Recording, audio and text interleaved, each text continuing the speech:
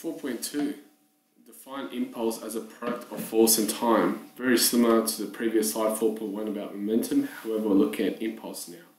So, whenever you apply a net external force on an object, you change its velocity, hence its momentum. The change in momentum is called impulse and has the same SI units as momentum, shown there in the brackets. So basically, impulse, impulse is the product of force times time. The impulse of, change, of, of force changes the momentum. A greater time of impact means a greater change in momentum. So, an example here, or the analogy is tennis. Good tennis players follow through to maximize contact between the tennis racket and the ball. The result is given change in momentum. So during the collision, the force is enormous. So F equals P over T.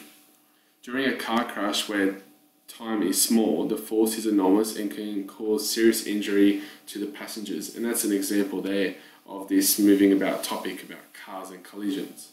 However, the only thing you need to know, and this is what I'd like you to highlight, is um, impulse equals force times time.